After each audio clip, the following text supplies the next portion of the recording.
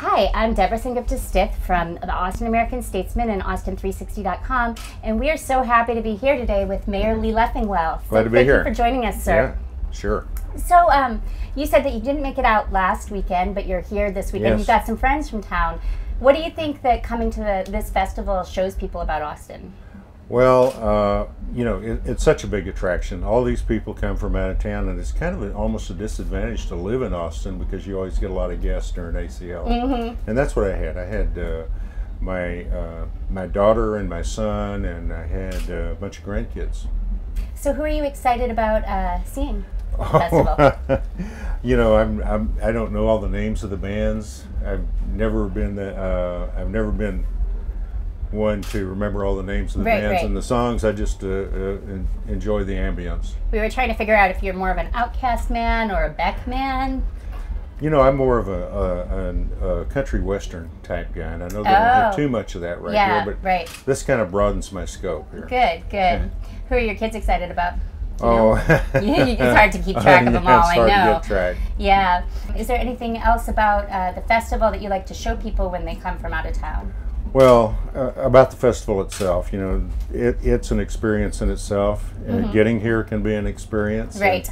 And, so. take a pedicab? Yeah. Uh, I did not take a I did not take a Batmobile or a pedicab, Mm-hmm. and I came here in a car. I was Right. fortunate enough to be able to get through the lines and get here. Right.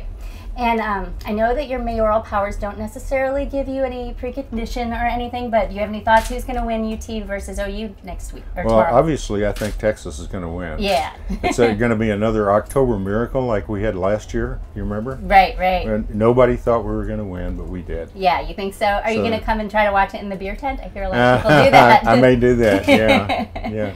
well, I certainly want to keep up with it. And um, is there anything else that you're trying to do? I know your term is winding down. Is this part of the beginning of your celebrations?